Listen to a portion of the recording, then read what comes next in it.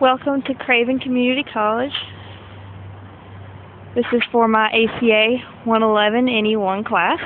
Instead of walking around today, taking a tour and freezing our butts off in the dark, since we have a night class, I've decided to give you sort of a virtual tour.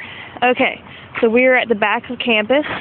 This is Orringer Auditorium, home of many of our fine arts programs and humanities as well as um, the suites for our English faculty, humanities faculty, fine arts.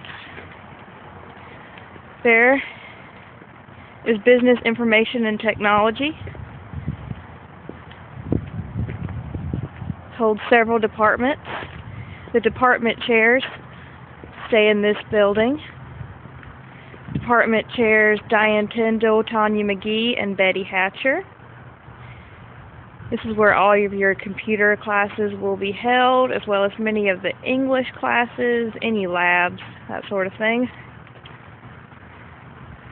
On this side, we have AMC, our Bosch Advanced Manufacturing Center, which holds our composites, metal forming,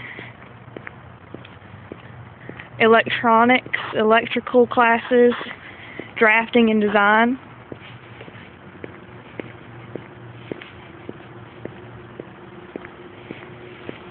That's it for this segment.